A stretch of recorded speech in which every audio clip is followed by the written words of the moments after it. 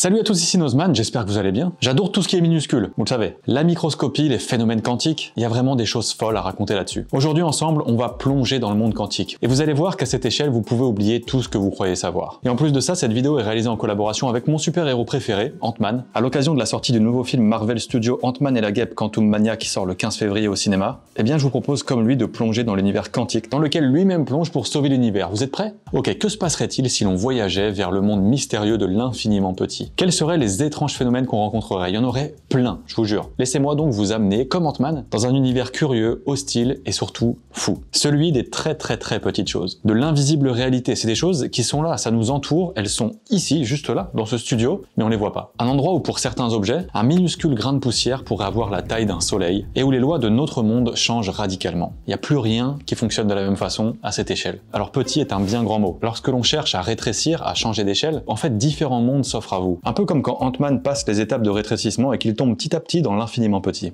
Alors vous connaissez sans doute le monde microscopique, on en a déjà parlé plein de fois sur cette chaîne, celui des acariens, des tardigrades, de certains champignons, tous ces trucs-là qui font environ moins d'un millimètre. Mais il existe des mondes plus petits, plus incroyables encore. Ok, donc si on descend juste un petit peu l'échelle, là on tombe sur le monde des cellules, des bactéries, de l'ordre du micromètre. Si l'on zoome encore un petit peu, nous apercevrons les virus, d'une taille de quelques dizaines, voire de quelques centaines de nanomètres. Mais descendons encore plus loin, vers un monde immensément plus petit que celui de la cellule. Plongeons vers un royaume étrange, aux lois physiques très contre-intuitives que l'on nomme monde quantique. Ok, essayons de nous rapprocher du plus petit objet connu. Jusqu'où on peut zoomer? Quel est le plus petit objet de l'univers? Bah pour le moment en fait c'est difficile à dire. Pendant longtemps on a pensé que c'était les atomes. Les atomes c'est genre 10 milliards de fois plus petit qu'un mètre, c'est petit. Depuis que les sciences existent on ne fait que repousser les limites de nos connaissances. Après la découverte des atomes en fait on a découvert des trucs encore plus petits. Leurs noyaux qui sont en fait des protons et des neutrons. Ou même les électrons qui gravitent autour de ces noyaux. Mais on peut encore faire plus petit que ça. Les protons sont composés de quarks. Ça ce sont les plus petites particules qu'on connaisse. Et on essaye encore de les mesurer avec précision. Mais est-ce que l'on peut faire encore plus petit qu'un quark? En théorie, dans ma tête, je peux zoomer vers l'infiniment petit. En théorie, tu vois. Finalement, qu'est-ce qui nous en empêche? Rien. Eh bien, vers 1890, un physicien du nom de Max Planck a établi une limite à partir de laquelle nos lois ne répondent plus. C'est ce qu'on appelle la longueur de Planck. Et en dessous de cette distance, il semblerait qu'il faille de nouvelles lois de la physique pour comprendre cet infiniment petit, notamment la théorie de gravité quantique, qui au passage nous permettrait d'en apprendre plus sur les trous noirs ou l'origine de l'univers. Ok, si on reprend notre atome de tout à l'heure et qu'on se baladait à l'intérieur d'un atome, qu'est-ce qu'on y verrait? Genre, je suis dedans, qu'est-ce qu'il y a? Eh bien, principalement, rien. Et ça, à perte de vue.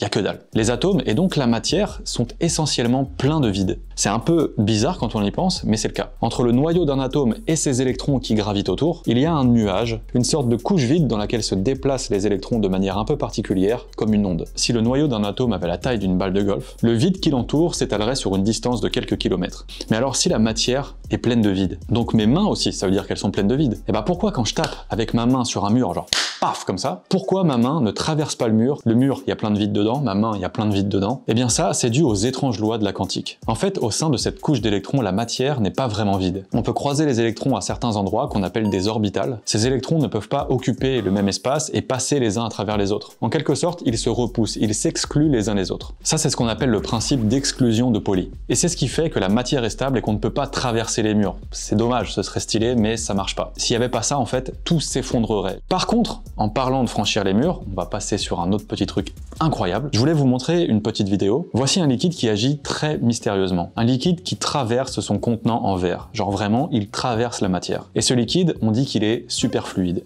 C'est dingue. Et là encore, c'est dû aux propriétés quantiques de la matière à toute petite échelle. Alors ici, il s'agit d'hélium, qui se trouve souvent sous la forme de gaz. Alors t'en as déjà entendu parler, l'hélium c'est quand on prend avec du gaz. Après t'as une voix qui est modifiée, c'est marrant. Mais dans cette vidéo, en fait, l'hélium est refroidi à une température extrême. Il est proche du zéro absolu, à moins 270 degrés Celsius. Donc l'hélium, en le refroidissant à cette température, il n'a plus de viscosité. À l'inverse du miel, en fait, ici c'est un liquide qui n'accroche plus. Ok, comment ça se fait? En fait, les atomes à l'intérieur commencent à travailler ensemble à l'unisson et adoptent un comportement commun. Ils bougent ensemble en vagues au lieu de rebondir aléatoirement chacun de leur côté. Ce qui va leur permettre en fait de se déplacer sans aucune friction, aucun frottement. L'hélium va alors pouvoir couler entre les atomes du verre. Moi je trouve ça fou. D'ailleurs c'est pas la seule propriété du mouvement des atomes qui m'a retourné le cerveau. Accrochez-vous s'il vous plaît. À l'échelle des atomes dans le monde quantique, on n'est pas sûr que le temps existe. Je m'explique. Voici la vidéo d'une banane. Au début, elle est bien belle, elle est jaune, mais à la fin de la vidéo, la même banane est toute rabougrée, elle est toute dégueulasse, ok. Mais par contre, si je vous montre ce film à l'envers, vous savez que quelque chose ne va pas, vous comprenez que c'est à l'envers, quoi. C'est pas naturel, vous verrez jamais une banane dépourrir, a priori. Si je prends deux photos de la vidéo, vous savez me dire quel instant s'est déroulé avant l'autre. La banane est d'abord belle, instant 1, et ensuite elle est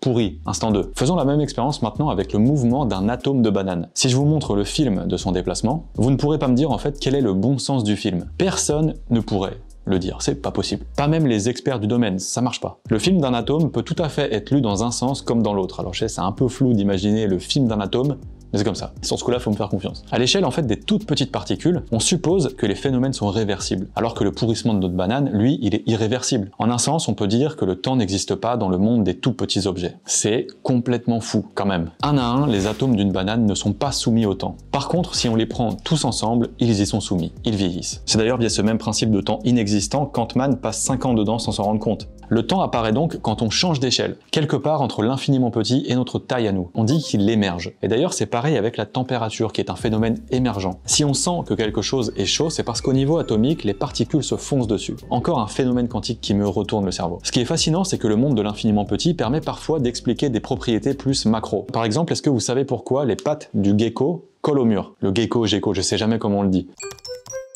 Gecko. Gecko. Donc lui, un reptile dont vous avez certainement déjà entendu parler, vous le savez, ils peuvent tenir partout. Les murs, les vitres, n'importe quelle surface en fait, il n'y a pas de souci pour eux. Ils vivent dans les forêts tropicales, ils ont la capacité de se planquer partout sur les arbres, c'est des boss. Certains même s'y camouflent super bien au niveau de leur peau et tout. Ils poussent aussi des cris super marrants.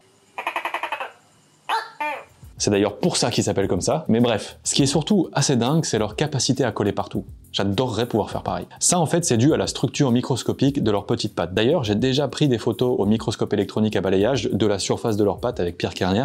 C'est fou de voir ça, je vous jure, c'est fou. En fait, sur le bout de leurs doigts, ils ont des sortes de coussinets formés de lamelles. Mais si on zoome encore plus dans le tout petit, donc comme par exemple avec un microscope électronique à balayage, on se rend compte en fait que ces lamelles sont pas vraiment des lamelles, mais plus un maximum de tout petits poils tout fins. Et ça, ça s'appelle les cétules. C'est encore plus fin que nos poils et ça leur permet de tenir partout. On se dirait en fait, mais c'est pas des ventouses qu'ils ont au bout des doigts. Rien à voir, c'est des poils. Pourquoi les poils ça accroche? Et si on zoomait encore plus dans ces poils, on se rendrait compte qu'en fait, ces petits poils sont composés d'eux-mêmes de plein de plus petits poils encore. Et ces petits poils, eux, s'appellent des spatules et mesurent environ 200 nanomètres. Soit à peu près la taille d'un virus. Ouais, vraiment, le gecko, ses capacités, c'est à l'échelle nanométrique que ça se passe. On pourrait se dire donc peut-être que ces micro-poils s'accrochent à toutes les infractuosité des murs, des surfaces et tout, mais non, rien à voir. À cette échelle, à l'échelle de ces petits poils, des forces quantiques interviennent. Les forces de Van der Waals. Les électrons des spatules vont interagir avec les électrons de la surface sur laquelle elles se collent, et en fait ça fonctionne comme des centaines de milliers de petits aimants.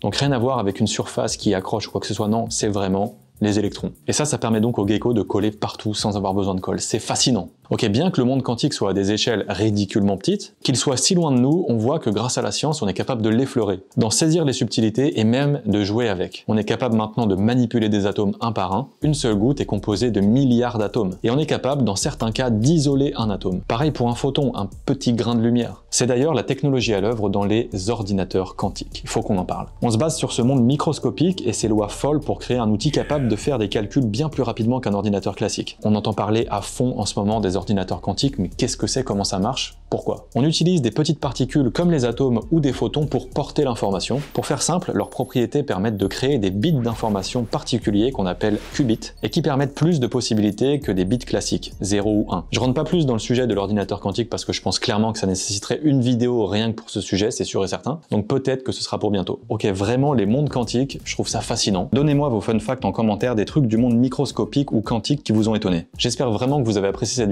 ce grand voyage dans les principes quantiques qui sont complètement fous. Évidemment, je vous rappelle que cette vidéo est une collaboration avec Marvel Studios. N'hésitez pas à aller voir le film Ant-Man et la guêpe, Quantum Mania, qui sort le 15 février au cinéma. Ça va être top de voir des univers quantiques sur un écran géant. Je pense que visuellement, ça nous réserve pas mal de surprises. Merci vraiment à tous de m'avoir écouté jusqu'au bout. J'espère que ça vous aura plu et quant à moi, je vous dis à très bientôt, à la prochaine, car la science n'attend pas. Salut